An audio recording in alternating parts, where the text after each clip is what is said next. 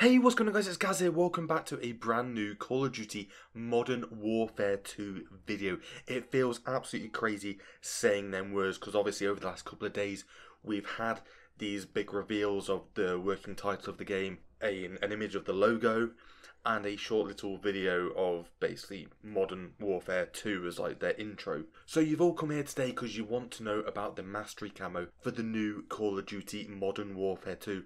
So the first thing you need to do is hit that subscribe button with the bell notification turned on so you never miss a Call of Duty Modern Warfare 2 video on this channel. So if you look back at the little video teaser they posted over on their socials, it's basically just going to be a like an M and a W just like floating in with a green squiggly thing coming in as you see in the video in the background right here. But if you look a bit deeper into that, you can see a pattern in the background which is like a few squiggles and a few circly squiggles and it's basically a whole bunch of squiggles.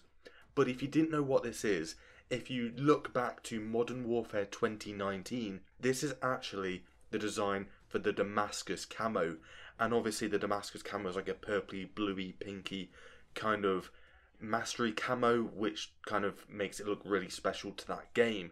And this game is no different. And what I can see and what I can see moving forward is the same kind of design is going to be happening for Call of Duty Modern Warfare 2, but it's going to be that green colour.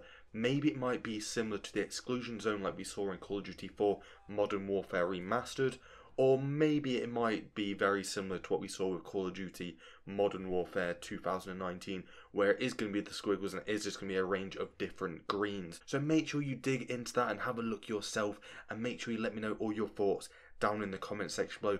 Is this squiggly mess going to be the new Mastery camo, but in a nice, awesome looking green, just so it represents the Call of Duty Modern Warfare 2 logo? Or is this something completely different? Make sure you let me know all your thoughts down in the comment section below. And like I said right at the beginning of the video, make sure you hit that subscribe button with the bell notification turned on so you never miss a Call of Duty Modern Warfare 2 video on this channel. And we'll see you all in the next video. Thanks for watching, guys, and I'm out. Peace.